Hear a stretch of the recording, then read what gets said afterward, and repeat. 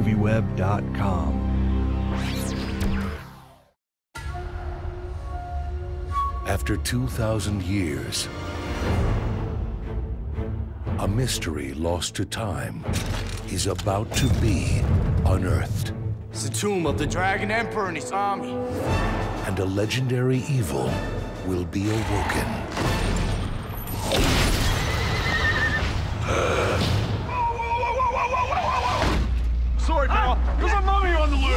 In this movie, you say that whenever you get in a scrap and you say, I've been in worse scraps than this, Yeah. this is gonna be the scrap. So, was this the worst scrap you've ever been in? I mean, was this the most physically taxing action scene you've ever filmed? If I think about it, they all every time you make one of these action movies, you always think this this is the scrape that I want to try and get out of or survive because these pictures are all about burning calories.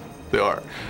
they are. You would go to a desert and you got to run around, charge around the sand and drenching yourself. Then we went to China, same thing, working in environments with um, that are just you know not volatile, but they're obstacle courses basically, and buying into it and giving each and every take everything you've got because you only need to get it right once. Okay, You- and, and if you blow it, well, dang, then you got to go again. Maybe you don't want to go again. So if you're gonna do it, do it right the first time. is, Yeah. is my is my personal um, working practice.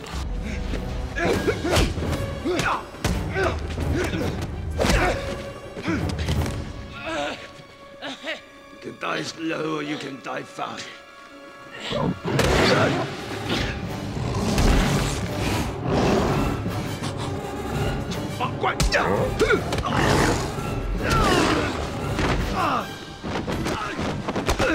So now the Yeti was one of the audience's favorite, and you were just telling me you know how you remember the line to scream for the Yeti. Can you do that for me right now? Because that is. Gucci shoda, nanjaro pakwaya. This is my line. come on, come on, help, help. Now, what did you guys think when you first saw the Yetis in the actual film, as opposed to like acting against the tennis ball? I, I was intimidated.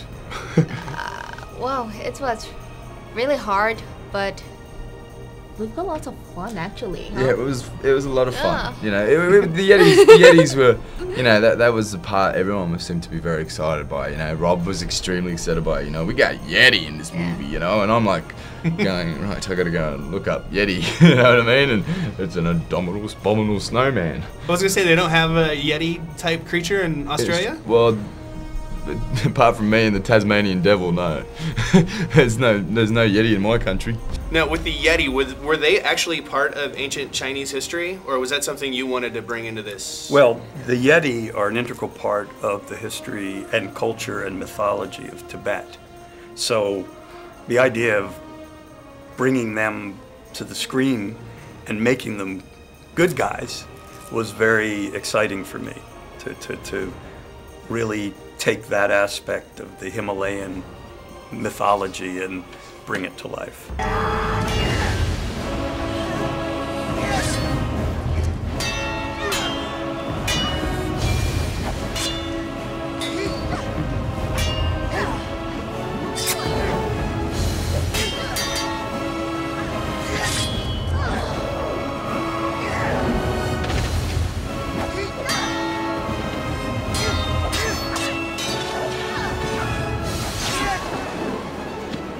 You fight Michelle and Brendan in this movie.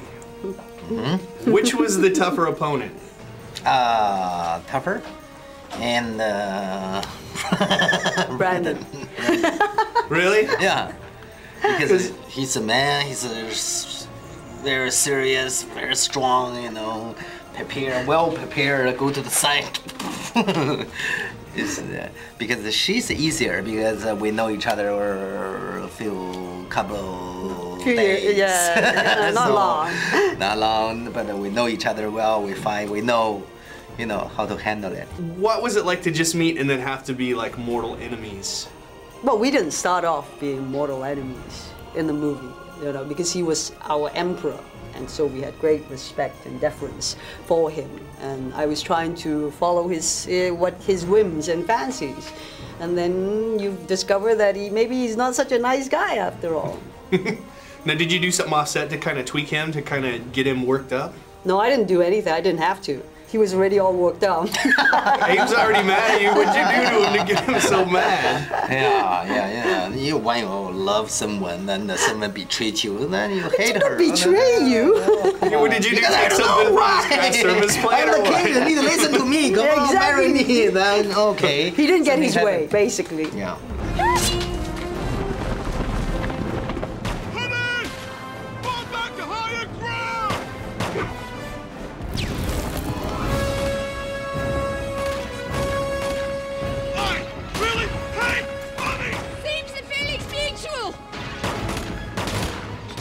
Shut up, playboy!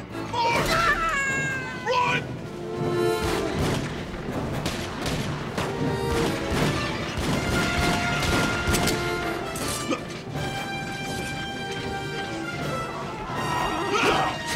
Run!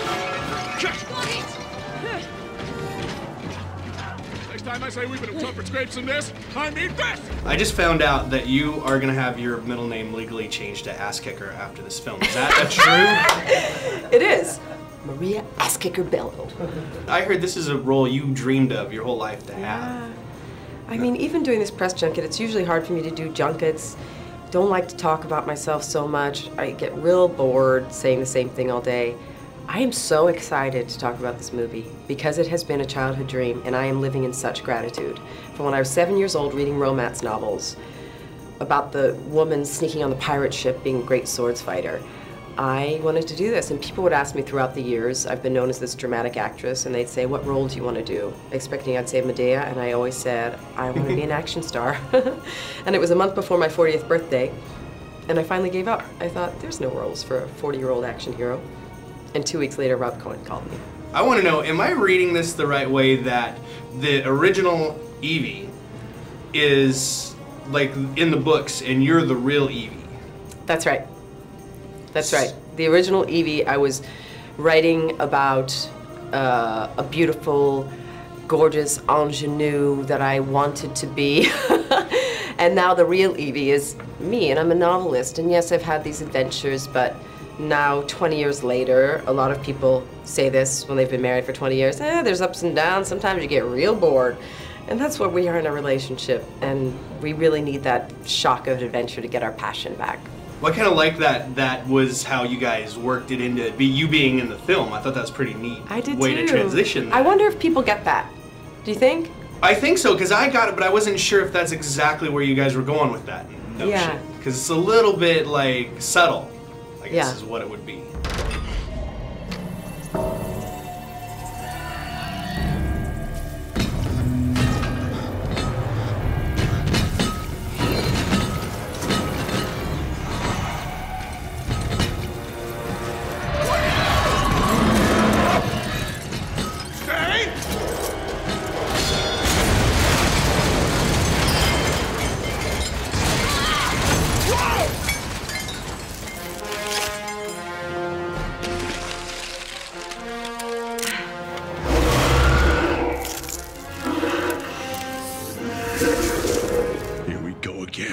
Don't think you have to beg people to go to your movie. People are going to see this. What are you talking about? I hope so. You never know. I mean, I feel like if if uh, if I don't, if I mean, I'm honest. If if I loved what I saw, and if I, if I'm kind of ho hum about it, I'll, I'll be happy to talk about other things. But no, I don't think there's a, there's there's not a like a like a weak link in the chain of this movie. It's great fun. Come see this picture if you can.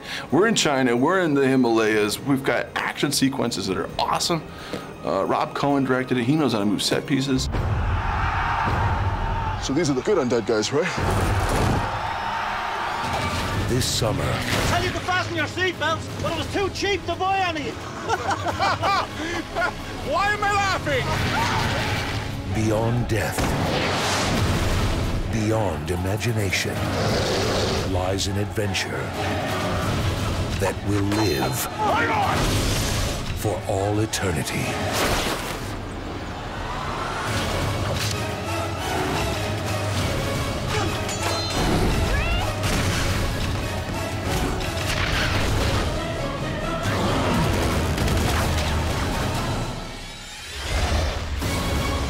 The Mummy, Tomb of the Dragon Emperor.